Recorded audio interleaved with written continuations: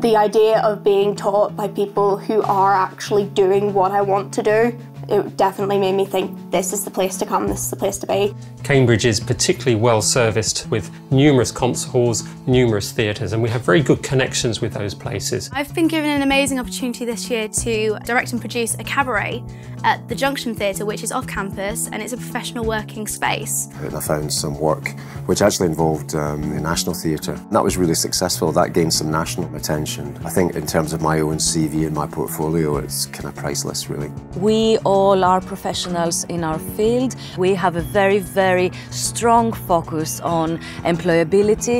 For us, that means allowing the students to experience and apply those kind of skills that they're going to need to have a successful career.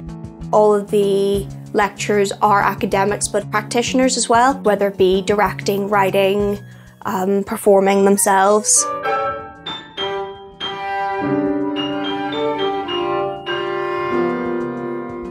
They're not here to censor you or to stifle what you're doing. They're here to do nothing but encourage it, facilitate it, give you the resources you need.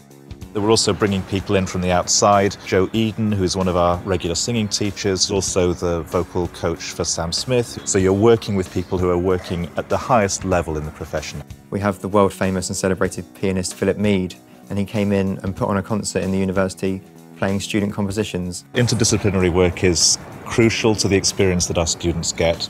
The possibilities really span so far. I know now how much Anglia Ruskin has been a, such a positive effect on my career. Even better than I thought it was going to be, and this is exactly what I want to be doing with my life.